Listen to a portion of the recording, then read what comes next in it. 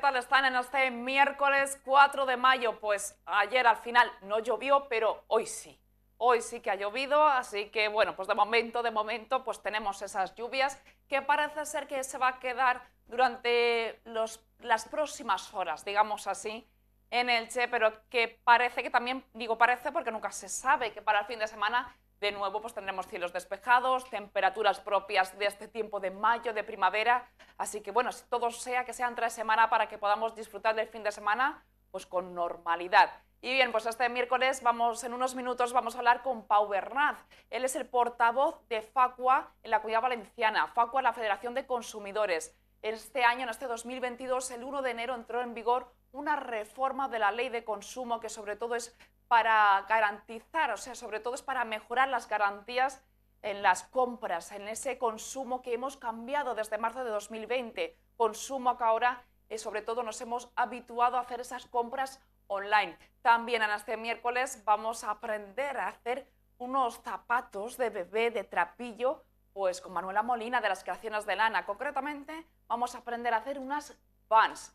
Y también pues tendremos esa recomendación literaria de la mano de Ediciones Frutos del Tiempo. Pues ya saben, como les digo siempre, yo les invito a que se sienten tranquilamente ya estas horas en el sofá y disfruten con nosotros aquí en Viva la Gente.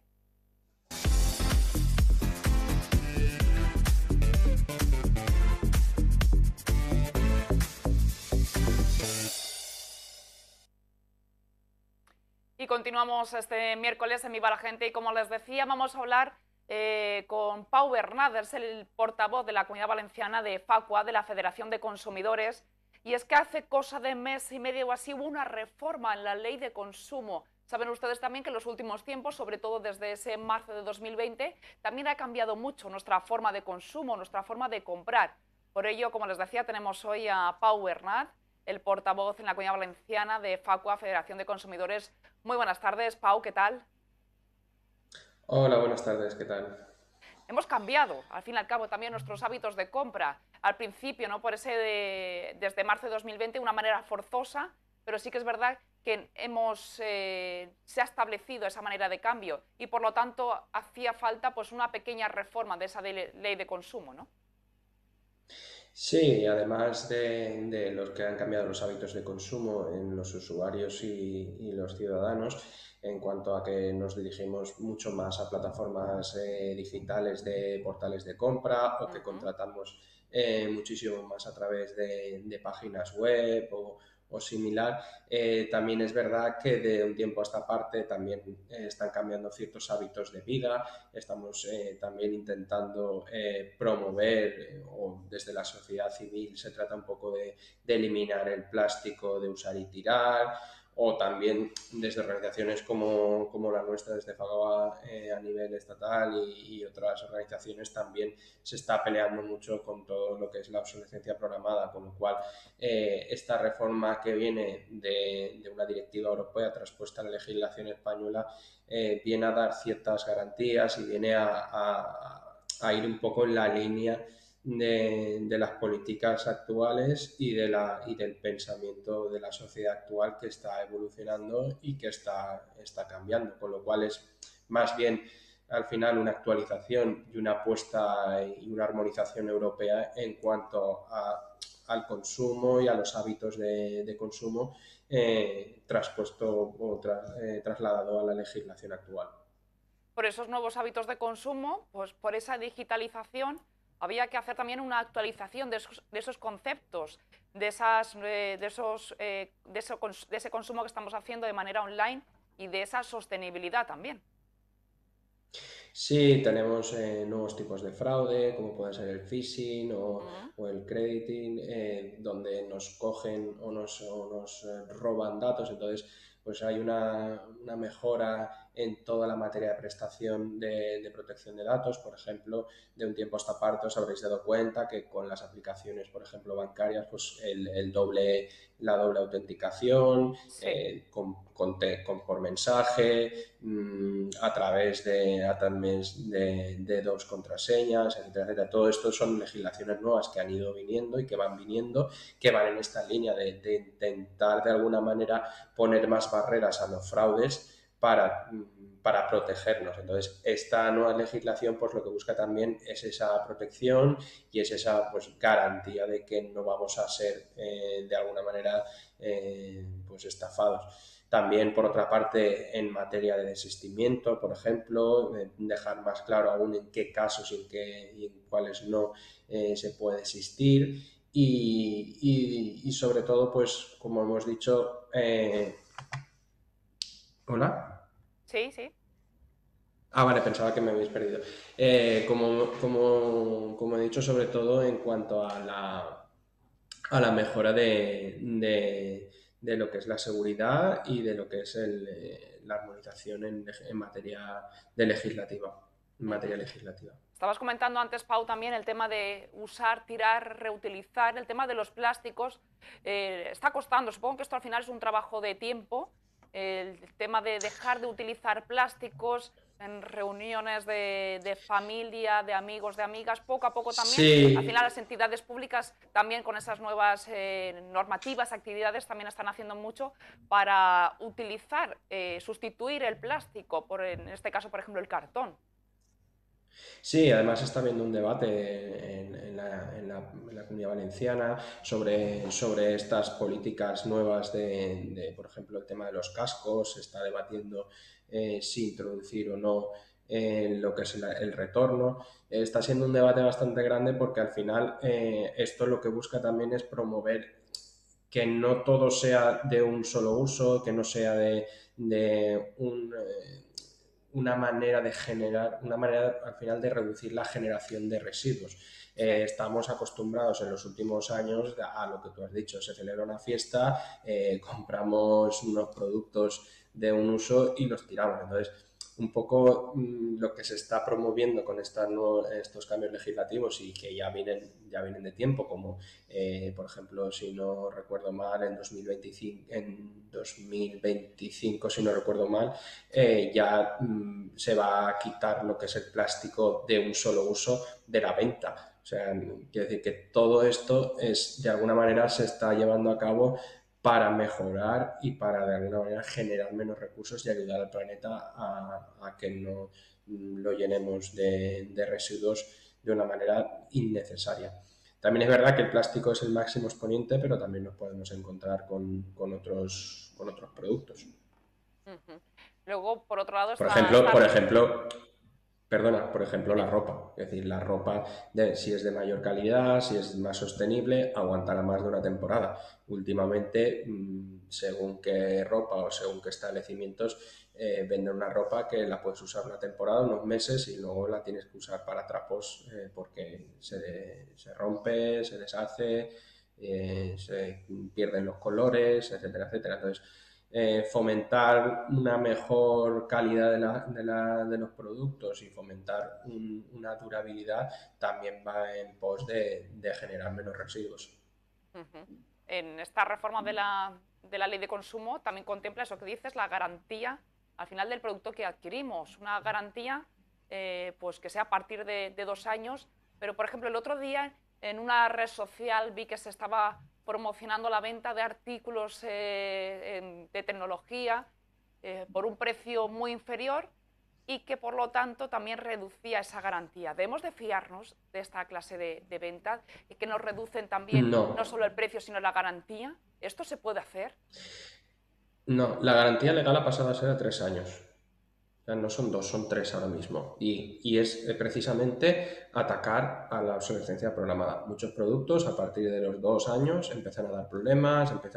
Eh, ¿Por qué? Pues porque los productos, los diseñadores industriales, se les dice que tienen que diseñar un producto que aguante hasta X.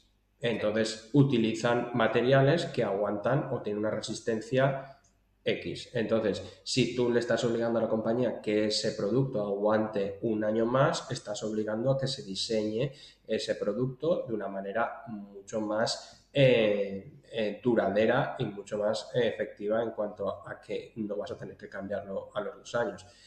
Entonces, en esta materia lo que se, lo que se está buscando es mejorar eh, los derechos de los usuarios, porque en lugar de dos vas a tener tres años de garantía en un producto, eh, por ejemplo, en un móvil, en una lavadora, en productos que son eh, prácticamente de, uso mayoritario.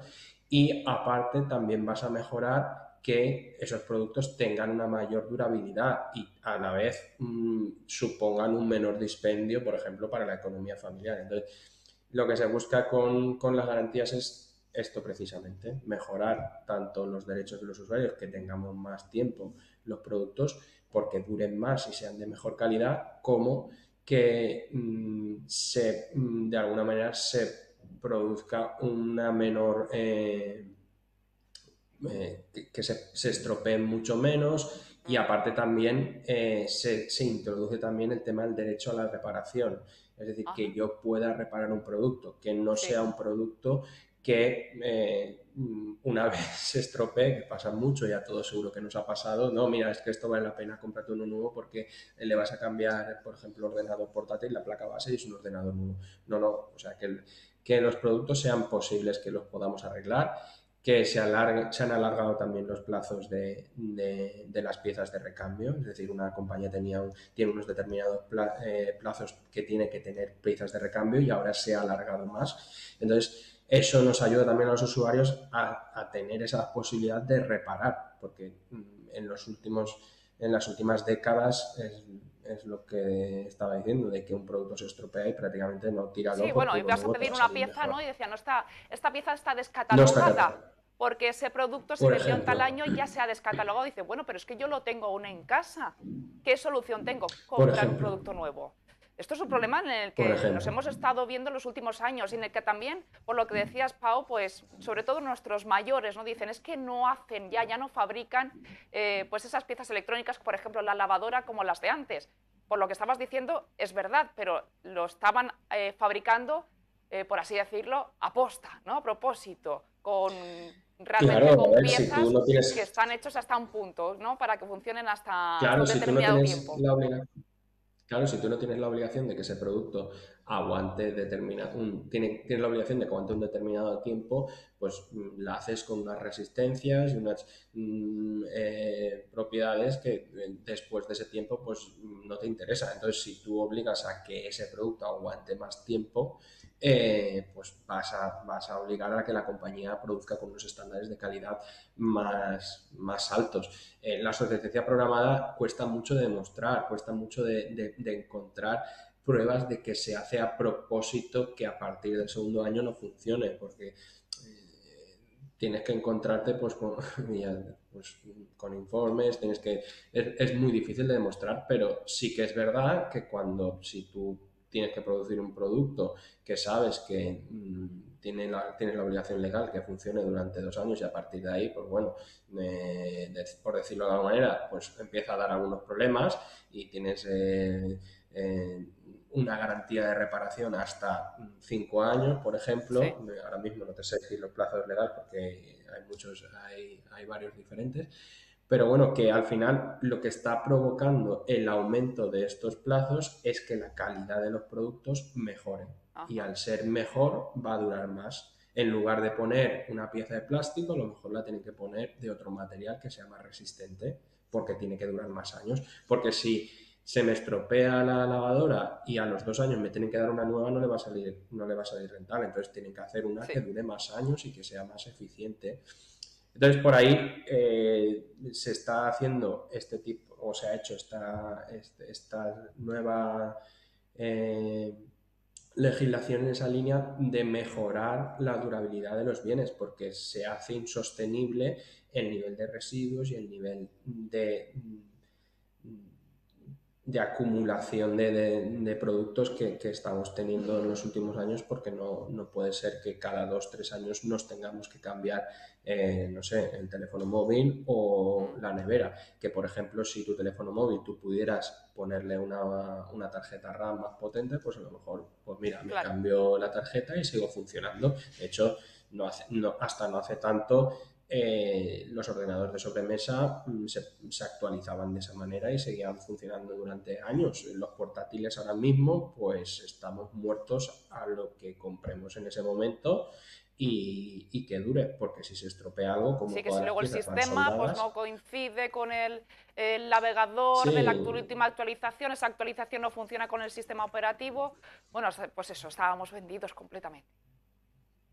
Hmm, entonces, la, idea de todo esto también es mejorar ese tipo de, de, cosas que, como pasa, la tecnología siempre va por delante. Entonces, Mm, la legislación va un poco por detrás, pero bueno, hay que intentar llegar y adelantar plazos para que temas de software, temas de, por ejemplo, garantía de que si tú te compras un teléfono móvil, que en dos años no te lo actualicen, entonces ya estás en, con vulnerabilidades de que te pueden hacer más fácil un ataque eh, informático, etcétera. Entonces, si todo eso se mejora, mejorará la durabilidad del producto y podremos de alguna manera pues, ser más eh, eficientes y más ecológicos y mejorar, la, y mejorar lo que es los residuos que generamos, porque muchas veces se nos responsabiliza a los usuarios y a los ciudadanos de, la contaminación y, y, muchas veces es que no tenemos muchos más remedios que ir al supermercado y comprar mm, envasados eh, en plástico, por ejemplo.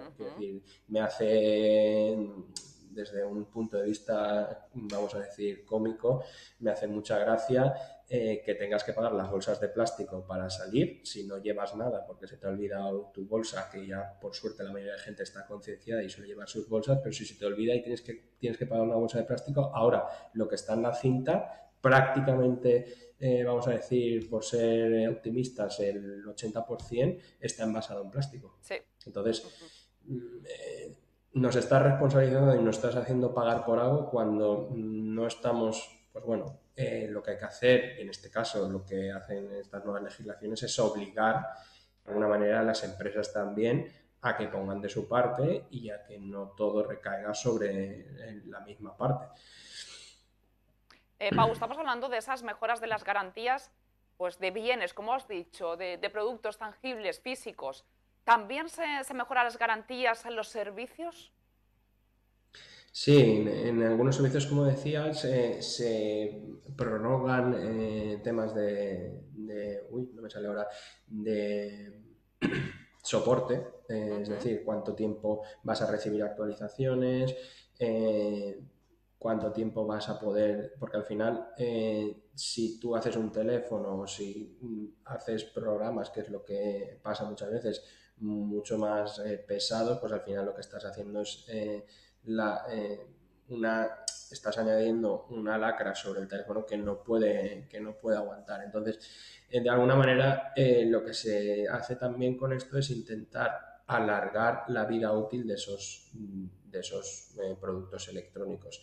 Mm, añadiendo, diciendo que tienes que tener un soporte técnico durante más tiempo, con lo cual vas a mejorar la eficiencia de ese producto y va a hacer que ese producto dure, dure, dure más. Eh, Pau Bernat, gracias por estar con nosotros, eh, como lo hacemos de vez en cuando aquí en Viva la Gente, eh, pues donde nos trasladas, ¿no? en este caso hemos hablado pues, de esas garantías que se han ido mejorando en esta ley de consumo, que realmente pues, esta reforma ha tenido lugar eh, de manera reciente, ¿no? hace cosa de, mes y medio, y que va en pro pues, también de los, de los consumidores, de los usuarios y usuarias. Pau Bernat, portavoz de FAUCA de la Comunidad Valenciana, gracias de verdad por estar con nosotros. Muchas gracias. Buenos días. Buenas tardes. Nosotros vamos a hacer ahora una breve pausa y volvemos aquí enseguida. Viva la gente. Hasta ahora.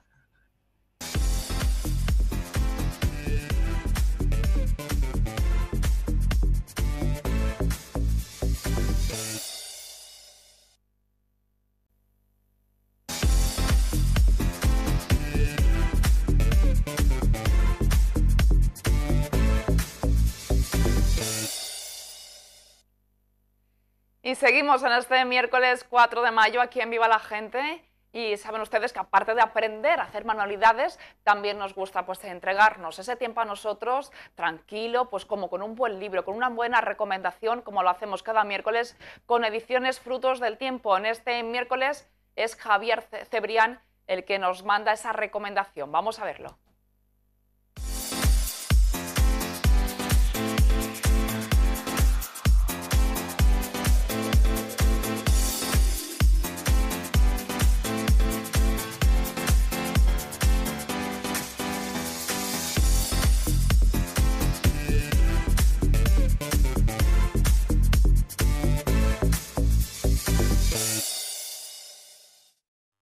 ¿Qué tal? Javier Cebrián de Ediciones Frutos del Tiempo, con las recomendaciones literarias de esta semana.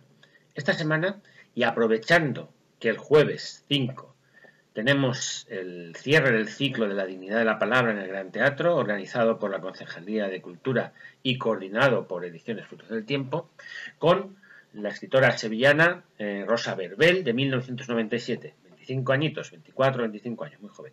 Y recomendamos dos de sus libros, los dos únicos libros que ha publicado. Las niñas siempre dicen la verdad de Hiperión y el libro que aún no ha salido, que saldrá el día 4 en Tusqués, Las ciudades fantasma, en la colección Nuevos Textos Sagrados, una de las mejores colecciones de poesía del país, junto con Visor y e Hiperión, que es el libro anterior, y que aprovecharemos en Elche para presentarlo. Es la poesía de la nueva generación, de gente joven, pero de una calidad y una hondura mm, impresionante, dada también su edad. A veces cometemos el prejuicio de creer que la edad es algo importante en literatura o en poesía. Rosa demuestra una gran formación, eh, una gran hondura poética, como decía, y tendremos la ocasión de verla, escucharla, leer, eh, escuchar la lectura de sus poemas en el Gran Teatro este jueves, día 5 a las 8 de la tarde, dentro del ciclo de la dignidad de la palabra. Las niñas siempre dicen la verdad en Hiperión y en Tusquets, las ciudades fantasmas. Muy, muy recomendable. Muchas gracias. Os esperamos.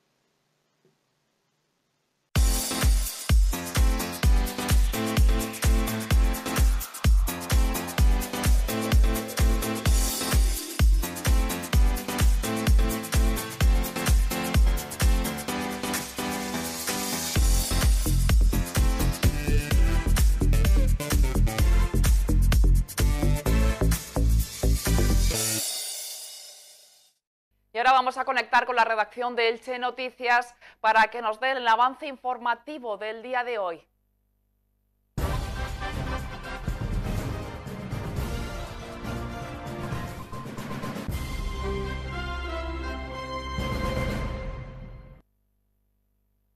Conectamos con la redacción de Elche Noticias con nuestro compañero Mario Abril. Mario, ¿qué tal? Cuéntanos cómo ha ido este día de este miércoles. Cuéntanos.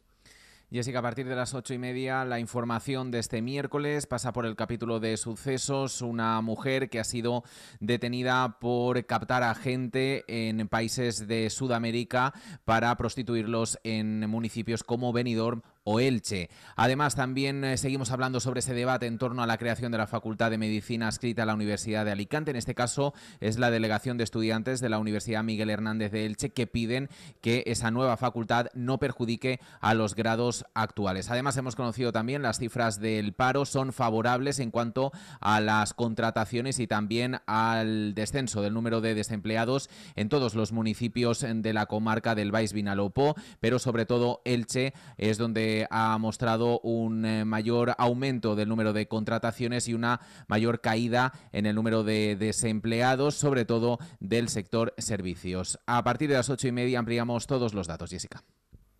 Gracias, Mario. Ahora conectamos con la redacción de Deportes con nuestro compañero Pepe Morago. Pepe, ¿qué tal? Cuéntanos cómo ha ido la jornada de hoy. Hola Jessica, ¿qué tal? Un saludo muy cordial para todos los espectadores del Elche 7 Televisión preparando el informativo de deportes. El entrenador del Elche, Francisco Rodríguez, tiene dos bajas confirmadas para el partido del sábado en Cádiz. El sancionado Enzo Rocco que vio la quinta cartulina amarilla ante Osasuna y el lesionado, el primer capitán del equipo, Gonzalo Verdú, que eh, con una rotura fibrilar dice adiós a lo que queda de liga.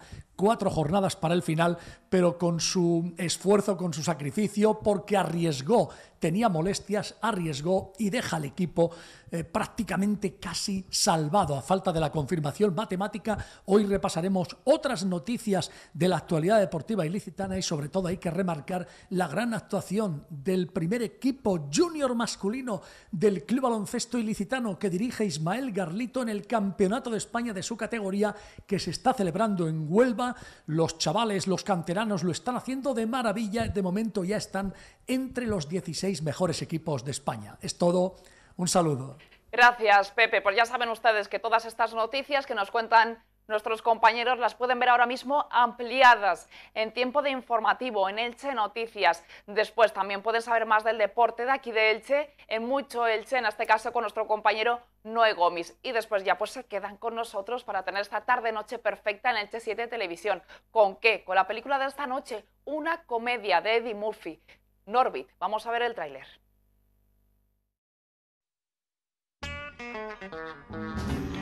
Si piensas que tu vida empezó con mal pie, Uh, qué negro más feo. ¿Quién va a quererte? si te parece que tuviste una infancia difícil, Juega con esto. si crees que toda tu vida ha consistido en un tropiezo tras otro, Oye, ¿tienes novia? No, pues ya la tienes.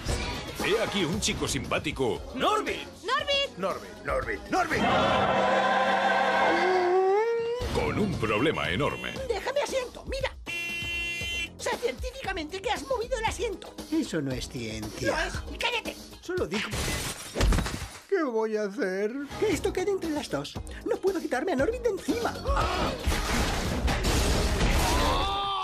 ¡Bum, va, bum, bum! Pero no, no me molesta, no. Eddie Murphy. Eddie Murphy ¡Oh, qué espectáculo! y Eddie Murphy. Don't you wish your girlfriend was hot like me? Don't you wish your girlfriend was DreamWorks Pictures presenta Disculpe, ¿Qué? ¿no lleva la parte de abajo? ¡Oh, ¡Claro que la llevo! Ah, adelante. Norbit. ¿Qué es eso?